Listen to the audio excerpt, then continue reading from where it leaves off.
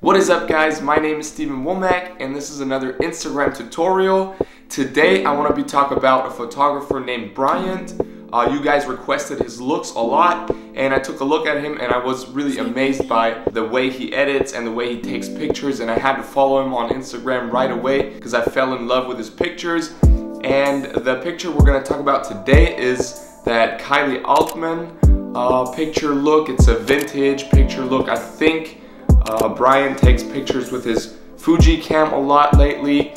Um, but today I want to show you how to achieve this look using your smartphone and the free Lightroom app only. Now before we get started, let me tell you that I've created an amazing preset pack for you guys as well. It's on my website, the link is under this video. You can check it out, download it, and just slap those presets onto your pictures to make them look great. They're inspired by many of today's popular influencers, as well as some vintage looks and some really grainy looks. Check it out and have fun with it. Also, make sure to subscribe to my YouTube channel and hit that notifications bell so you don't miss out on any of my tutorials. And check me out on Instagram at Steven Wommack. I'd love to hear from you, love to receive feedback, get DMs, um, and I'm always up for conversation. So try me out. And uh, now let's just jump right into that tutorial. Of course, first of all, you will need your smartphone, and then I want you to open up that Lightroom app. Now I've chosen this picture of a girl in LA because it's with the sky in the background and the palm trees, it comes really close to that uh, Bryant edit of Kylie Altmann. And I've already done some curves, so first of all you go to the lights tab and hit that curves button. And I want you to copy this curve exactly as it is here. So pull the shadows over to the right and leave the highlights where they are. And then in between just create a little, a slight bow um, to really boost the, boost the shadows a little bit. Now once you have this curve as it is here, we're done. And we want to take a look at the contrast for this picture. We want to pull it up a little bit to around plus 13. The highlights, I want you to pull them down to around negative 19. The shadows, I want you to boost them all the way up to plus 56 is good. For the whites, I want you to pull them down to around negative 10. And the blacks, we want to pull down all the way to negative, negative 30 is perfect. Now we're done with the lights, we go over to the colors tab. And what we wanna do here is pull a little bit of temperature in. So we boost that to plus five. And the tint, we wanna boost that up to around plus 12 in this case. The vibrance, I want you to boost it up as well to around plus 17. Now this looks highly exaggerated, which is why now we want to pull down the saturation to around negative 30, negative 39. And now this looks a lot better already. Now we scroll up to the color mix tab. And what you want to do here is uh, with the reds, we want to boost the hue to about plus 27 and the saturation we'll leave it at zero. And uh, the luminance we want to boost that up to around plus 32 is perfect. So we go over to the orange tones.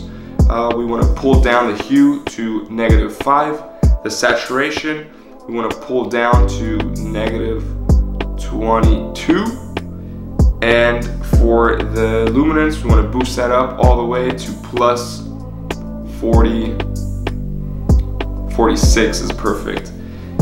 Then we go over to the yellow tones. We're not going to do anything here, so we jump right over to the green tones. And here I want you to boost the hue all the way to plus 47. The saturation, we want to pull it down all the way to negative 65 and the luminance, we also want to pull down to around negative 95 is good. Now we go over to the aquatones, and here I want you to boost the hue to around plus 63. The saturation, we want to pull that down to around negative 33. And the luminance, we want to pull down all the way to negative 100. Now, for the blue tones, what we want to do is boost the hue to around plus three. The saturation, we want to pull it down all the way to negative 33, 34. And the luminance, we want to pull down all the way to negative 30, 37 is great. Now for the purple and the pink tones, we're not gonna do anything. So we're done here with the colors. Now we go over to the effects tab. And here I want you to pull down the clarity to around negative 20 and dehaze to around plus 20, 21 is perfect. Now to get that vintage grain, we go down to grain and boost that to 18 right here. Um, so we're good there and we jump over to that split toning buttons is all the way on top of the menu and we hit that. And for the highlights I want you to pull the hue all the way to 200 and 218 right there. It's that blue area and a saturation of around 7 so we're 220 now and saturation 7 which is good. Uh, now we go to the shadows section and pull the hue to around 75 in that orange area, yellow area, and a saturation of around 12, 11. So it's 73 and 11, which works as well. And now for the balance, I want you to boost that up towards the highlights to around plus 46 works perfect and we're done here. This look is already really good, but now we just want to smoothen things out by hitting the details button, going down to noise reduction, and then we want to noise reduct to around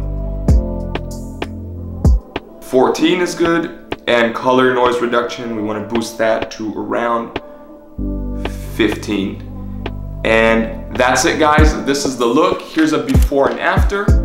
And I think we really nailed this shot. You can really see how that contrast pops in, the desaturation, how it looks like it's taken on a vintage camera. It has that organic analog look to it, but only slightly. And I think we came really close to the way that Bryant takes his pictures. I really love it. Try it out, have fun with it. Let me know what you think.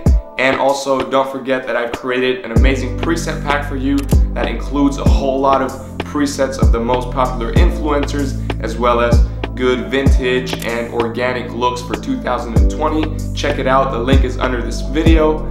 And also make sure to subscribe to this channel and hit that notifications bell so you don't miss out on any of my tutorials. And check me out on Instagram at Steven Wommack. I'm trying to post some content for you guys and it's also a good way to keep in touch with me and just ask me some questions or request new videos or you could also just comment under this video. Uh, let me know whatever you need. I'm always happy to reply. Thanks for watching. Peace.